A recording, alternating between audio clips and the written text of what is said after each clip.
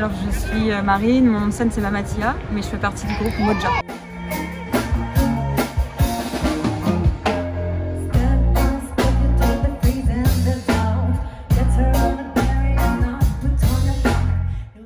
Oui, on peut dire ça. Après, ça peut être un peu prétentieux de dire ça, mais disons que c'est des textes qui, qui amènent un peu à réfléchir sur soi-même beaucoup. Je suis beaucoup dans l'introspection. C'est parce que moi, je me pose beaucoup de questions et c'est ce qui alimente beaucoup mon, écriture de, textes et de chansons.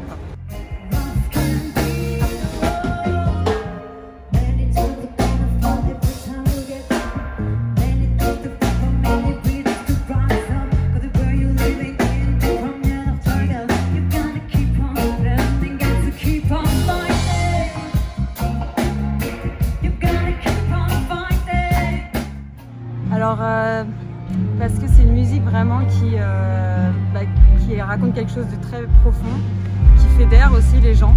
Et euh, ensuite, il y a quelque chose avec la rythmique reggae qui est vraiment particulière et qui, moi, me met vraiment dans une espèce de transe que voilà, je ne peux pas trop l'expliquer. Quand j'étais ado, en fait, j'ai découvert une artiste, une chanteuse reggae qui s'appelle Desiree et je suis tombée vraiment amoureuse de cette chanteuse, tu vois, de sa voix, de ses textes, sa musique.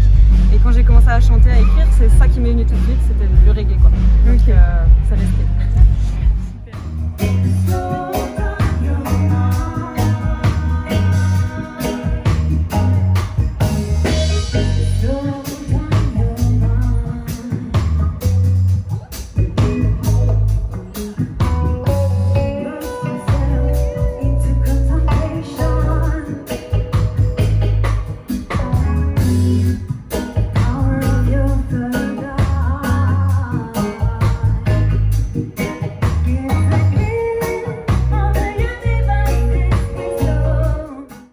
ça fait, ça va faire bientôt 10 ans que je fais ça. Alors j'ai commencé, pour tout te dire, euh, j'étais très timide, j'ai toujours chanté, j'adorais chanter quand j'étais plus jeune déjà, etc. Mais j'osais pas chanter ou faire quoi que ce soit avec ça, j'y avais même pas pensé. Et un jour, euh, bah, mon, copain de l'époque en fait a répondu à une annonce pour moi, il cherchait une chanteuse, un groupe euh, dans la ville où j'étais. Et ça a commencé comme ça, et depuis j'ai jamais arrêté. Et du coup bah, j'ai pu faire des scènes en tant que choriste au début avec un petit groupe, etc. Et puis en arrivant à Nantes en 2012-2013, j'ai rencontré euh, les membres du groupe, enfin, ceux qui ont, euh, été au début de Moja. Et puis on a commencé à travailler ensemble, à faire de la musique. Et puis à un moment donné, on nous a appelés pour faire des concerts et on a commencé comme ça. Et, au fur et à mesure, ça a commencé à grossir et euh, on a pris la chose de plus en plus au sérieux. Quoi. Ok. il y a quelques années, j'ai décidé vraiment de isso.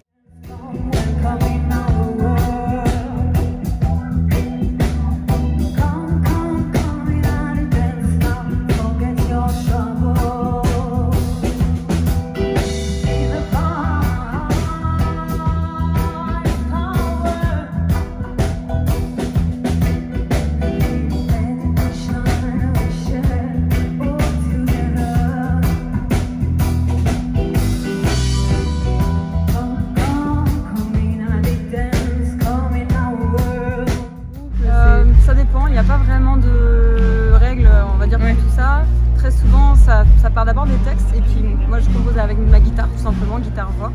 Et après avec les gars on travaille tout ça. Mais sur notre dernière EP qu'on a sorti en 2020, euh, j'ai travaillé avec un producteur. Donc en fait je suis partie de mes guitares-voix et avec lui on a composé toute la musique et ensuite avec le reste du groupe on a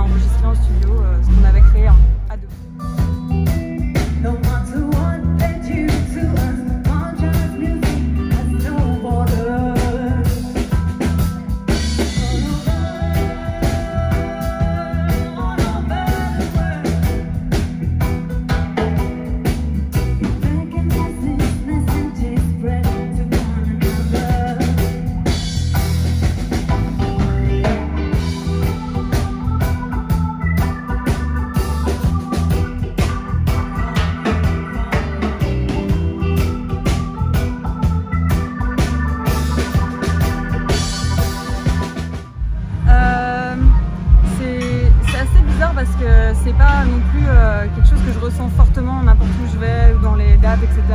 Mais par contre, euh, il y a un vrai combat à ce niveau-là, tu le sens quand même. Il faut avoir un espèce de... faut s'imposer. Donc si t'as pas le caractère déjà d'avoir un peu de confiance et de, te dire je suis à l'égal des hommes, c'est compliqué quoi. Donc il faut vraiment se faire un petit peu violence. Ça a été mon cas au début peut-être aussi. Mm. Le physique joue, c'est clair. Et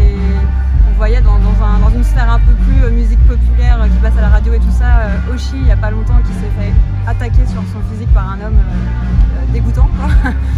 c'est quand même assez dingue que ça arrive encore à notre époque.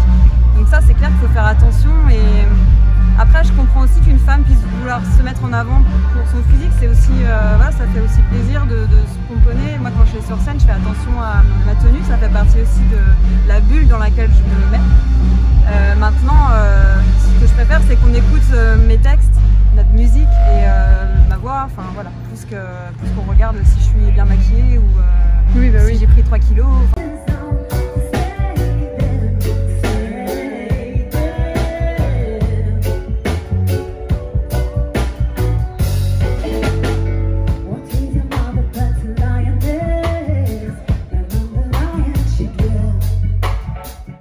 Bah, merci au festival déjà de nous avoir programmé. Moi je suis hyper contente de, faire partie de cette prog parce qu'il y a des super artistes euh, que j'admire aussi.